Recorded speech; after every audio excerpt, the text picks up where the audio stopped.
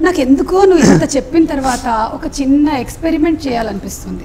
ఏంటి సుమా గారు? స్కేరీ హౌస్కి వస్తావా నాతో? నాకు కూడా భయమే. మరి ఎందుకు మరి ఇద్దరం కలిసి వెళ్దామా? మనకు అవసరమా? ఒక see you have to overcome the fears okay? Fear అంటే ఇప్పుడు నేను రోడ్ మీదకి వెళ్ళి నిలబడతాను నన్ను బస్సు గుద్దేయకూడదు అనుకోవడం కాదు. ఆహా. ఇలాంటి ఇవన్నీ అన్రియల్ ఫియర్స్ అందులో ఎవ్వరు ఉండరు. ఆ.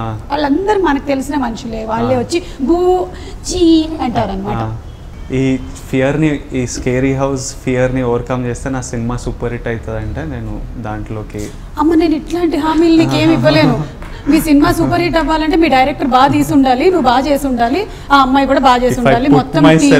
కానీ యా ప్రాబబ్లీ మనం ఇద్దరం లోపలికి వెళ్తున్నాం అంటే అప్పుడు సమ్ యా. అంటే ఇక్కడ ఉండేటువంటి జనాల వాళ్ళ సంకల్పం. దేవుళ్ళ సంకల్పం దయ్యాల సంకల్పం. దయ్యాల సంక- సంకల్పం అన్ని. అన్ని కలిసి మీ మూవీకి హెల్ప్ చేస్తుందని నేను. అనుకుంటున్నాను. పద. పద. వెళ్దాం. ఓకే ప్రియాంక ఇంకా ఏమైనా మూవీ గురించి ఎక్స్పీరియన్సెస్ చెప్పు. Any memorable things that happened is there something మాట్లాడుతున్నాయి. ఏం చెప్పాలి. చెప్పిందా? ఈ మూవీస్ అని ఇంట్రెస్ట్ ఎప్పుడు వచ్చింది చిన్నప్పుడే ఉన్నింది బట్ పెరిగే కొద్ది అర్థమైంది. అంతీసి కాదు అని ఓకే సో మరి ఒక టూ ఇయర్స్ బ్యాక్ గట్టిగా ట్రై చేస్తే గీతా ఆర్ట్స్కి నా ప్రొఫైల్ పంపిస్తే వాళ్ళు పిలిపించారు okay auditions ఇవ్వమన్నారు. Like two three movies start అవుతున్నాయి. ఫస్ట్ మూవీ దీనికి ఆడిషన్ ఆడిషన్లో ఏం డైలాగ్ చెప్పు ఇంట్రొడక్షన్ సీన్ నాది. తాగుంటా అనమాట ఓ ఫస్ట్ ఫస్ట్ తాగున్నట్టుగా యాక్ట్ చేయాలి. ఊరికే ఒకసారి అట్లా ఒక లైన్ చెప్పు మాకు అందులో డైలాగ్ అక్కర్లేదు. జనరలీ తాగున్నా మీరు అ- అలా సీన్లు అడిగితే క్రైమ్ సీన్ చేస్తుంది ఎప్పుడు. నేను తాగున్నాను అనుకున్నావా?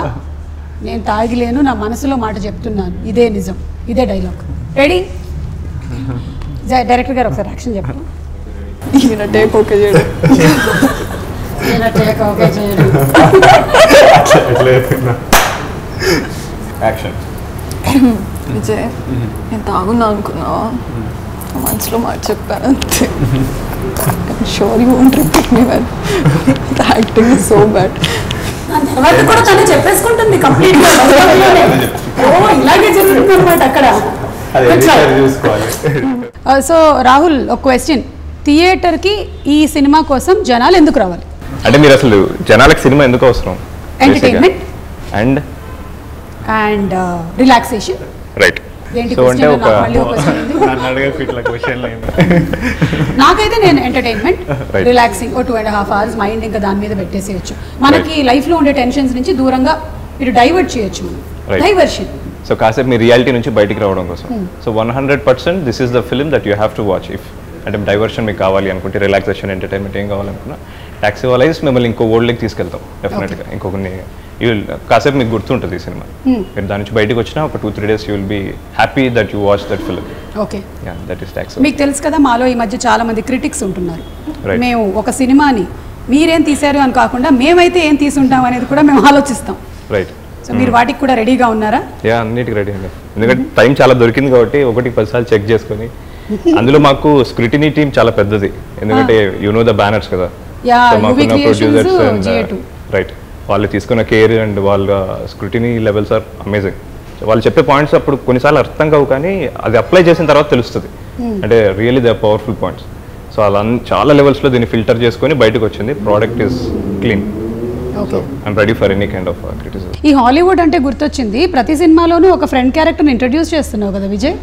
ఆల్మోస్ట్ రాహుల్ ప్రియదర్శన్ ఇప్పుడు హాలీవుడ్ హీరోయిన్స్ని ఇంట్రడ్యూస్ చేసినట్టు నువ్వు ఫ్రెండ్స్ని ఇంట్రడ్యూస్ చేస్తున్నావు. ఎందుకంటే ఐమ్ బాయ్స్ గ్యాంగ్ టైప్ నేను whenever I have time నా వీక్ అంతా నాకు సాటర్డే దొరికితే అబ్బాయిలతో చిల్ అవుతుంటాం మేము ఒక బాయ్ గ్యాంగ్ స్పోర్ట్ ఆడుతుంటాం. అమ్మాయిలంటే అంత ద్వేషం ద్వేషం చాలా ఇష్టం అమ్మాయిలు అంటే కానీ ఆ, దాంట్లో చాలా డ్రామా ఉంటుంది. నాకు లైఫ్లో ఆ డ్రామాకి అంత స్పేస్ లేదు కరెంట్లీ. ఓపిక లేదు. ఓకే. సో అబ్బాయిలు అంటే చిల్ కావచ్చు.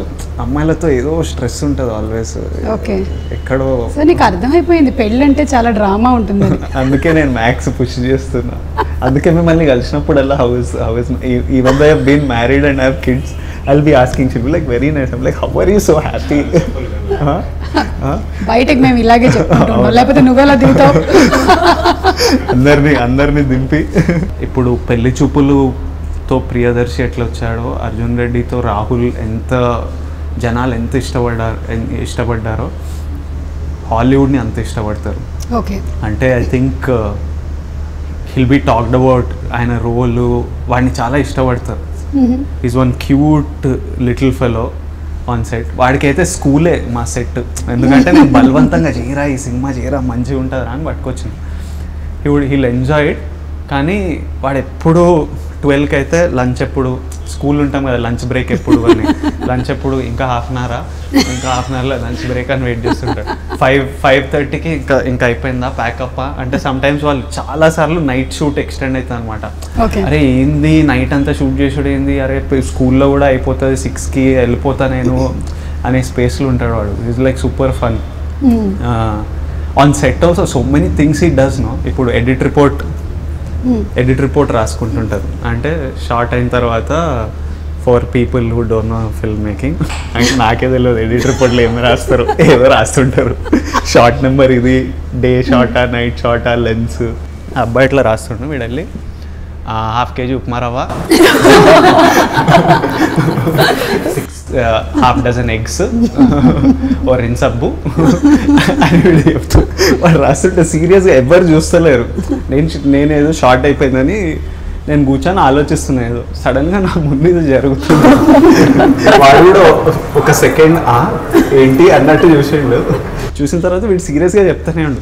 ఓకే సర్లే అని this fell also just playing along one more day మేము షూట్ చేస్తుంటే నేను మానిటర్ దగ్గర కూర్చొని షార్ట్ చూస్తున్నా. వీడు అక్కడిక్కడ కట్టెపుల్ల పట్టుకొని తిరుగుతాడు. మేకలు చూసి మేకలు చూసి మే మే బిర్యానీ బిర్యానీ.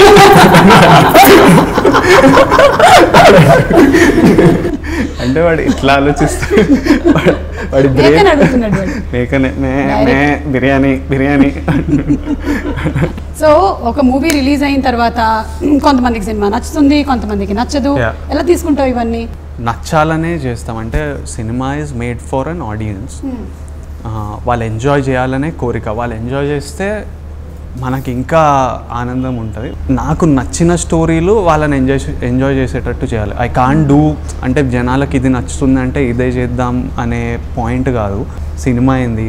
స్టోరీ టెల్లింగ్ అంటే ఒకప్పుడు మన అమ్మమ్మ ఫుడ్ పెట్టేటప్పుడు మనకు చెప్పేది కథ. తర్వాత స్టేజ్ మీద చేస్తారు ఇప్పుడు this the biggest scale of story telling so keep telling stories అంటే విన్నప్పుడు చాలా నచ్చితే చెయ్యి. కొంచెం డబ్బులు తక్కువైనా ఎక్కువైనా అది కాదు. ఈ కథ చెప్పాలి. ఇంట్రెస్టింగ్ ఉంది కథ. And so if I'm really happy with the story result కొంచెం అటు ఇటు అయినా ఐఎమ్ ఓకే ఒక టూ త్రీ డేస్ ఫీల్ అవుతా దాని తర్వాత ఇట్స్ ఓకే అనిపిస్తుంది. This is one story I really wanted tell అంటే రాహుల్కి మా అందరికీ చాలా టైం పట్టేసింది. మేము స్టార్ట్ చేసినప్పటి నుంచి it's been a while but still it's చాలా మంచి స్టోరీ చెప్ప మేము చెప్పే స్టోరీ చెప్పాల్సిన స్టోరీ అందరు చూసి ఎంజాయ్ చేస్తారు కూడా అని నా ఫీలింగ్ సో ఇంకేమైనా ఉంటే మీరు కమాన్ చెప్పండి మీరు చెప్పండి. నా ఫస్ట్ ఫిల్మ్ అయిపోయిన తర్వాత ఆ పొజిషన్ రావడానికి నాకు ఒక వన్ అండ్ హాఫ్ ఇయర్ పట్టింది అనమాట అప్పటికి ఒక యాభై నరేషన్లు ఒక వంద చాలా చేశాను ఆ ఆఫీస్లో జాబ్స్ సో ఫైనల్లీ ఈ సబ్జెక్ట్ నేను రాసుకున్నప్పుడు ఇది ఎక్కడ రిజెక్ట్ అవ్వాలా? ఎవరికి చెప్తే అన్ని ప్లేసెస్లో ఓకే అయిపోయింది single narration so it's a winner to me ఇది నడుస్తుంది అని చెప్పి. సో మొత్తం బాగా సెట్ అయిపోయింది. పెద్ద ప్రొడక్షన్ హౌస్లో ఓకే చేశారు. యూవీ క్రియేషన్స్లో ఓకే అయిపోయింది. మారుతి గారు విన్నారు ఓకే అన్నారు. సో అప్పుడే పెళ్ళి చూపులు హిట్ అయింది. విజయ్ దేవరకొండ వచ్చాడు. పర్ఫెక్ట్ ఉంటాడు నా క్యారెక్టర్ అని. ఐ వాస్ సూపర్ హ్యాపీ ఇంక సెట్ అయిందిరా ఇంకా ఎక్కుతుంది అని. విజయ్ రాగానే విజయ్ చూడగానే అనిపించింది. సూపర్ నా క్యారెక్టర్ బాగా సెట్ అవుతాడు. కానీ జానర్ చెప్పగానే తల్లే చెల్లిపోగానే అనవసరంగా జానర్ చెప్పినావు కదరా నేను. కనీసం అబద్ధం అన్న చెప్తే బాగుండు మంచి లవ్ స్టోరీ అని చెప్పి కూర్చోపెట్టి స్టార్ట్ చేయాల్సింది. అనుకొని బట్ సైఫై అని చెప్పగానే హీ స్టాప్ వెంటనే ఆగాడు మళ్ళీ ఒకసారి వింటా నరేషన్ అని చెప్పి స్టార్ట్ చేశాడు. సో స్టార్ట్ చేసిన తర్వాత కరెక్ట్ టూ అవర్స్ నరేషన్ లేచి I'm doing it అనేసాడు okay so Priyanka anything more you wanted to say songs గురించి ఏమైనా? మీ ఇద్దరికి సెట్లో డివెట్ సాంగ్స్ అట్లాంటివి ఏమైనా ఉన్నాయా? అంటే ఆ type of story it montages మీదే వెళ్తుంటాయా? స్టోరీ టెల్లింగ్లోనే. ఎన్ని సాంగ్స్ మొత్తం? మొత్తం four songs okay and music is చాలా బాగుంది. Very nice so Rahul thank you so much ఈరోజు టాక్సీ వాళ్ళకి సంబంధించిన చాలా విషయాలు తెలుసుకుందాము. Thank you thank you so much all the best thank. You thank you you Chacha